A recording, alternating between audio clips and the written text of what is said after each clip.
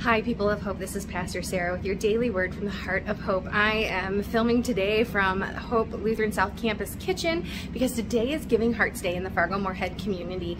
And it's as I think about all the different things that are going on today to help raise awareness and support for many of the organizations in town, I think of how we are, we as children of God are called to encourage one another and to support one another, especially those missions that are being done in the name of Jesus Christ to love and serve our neighbors as ourselves. And Hebrews 10, one of my favorite Bible verses says, Let us hold unswervingly to the hope we profess, for he who promised is faithful and let us consider how we may spur one another on toward love and good deeds, not giving up meeting together as some are in the habit of doing, but encouraging one another and all the more as you see the day approaching. Every day is an opportunity where we get to profess through word and deed who Jesus is, of the abundance of God, and how much uh, His grace just fills our lives and, and pours out upon us. And every day we get to encourage one another to, to point to that hope that we have in Christ and to point to the goodness of God and how faithful He is, how good He is, and the abundance of God.